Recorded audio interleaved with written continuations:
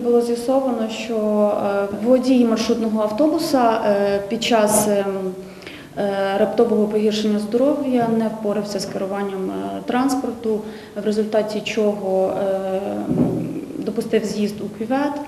Е, Далі вже потерпілих в цій дорожньо-транспортній перегоді немає. Лише водія даного автобусу е, госпіталізовано до Шепетівської центральної районної лікарні. Коли спиталися медики, чи був е, таке раніше з ним було чи ні, тому що все ж таки це все сталося не на фоні повного здоров'я. Водій короткочасно втрачав свідомість.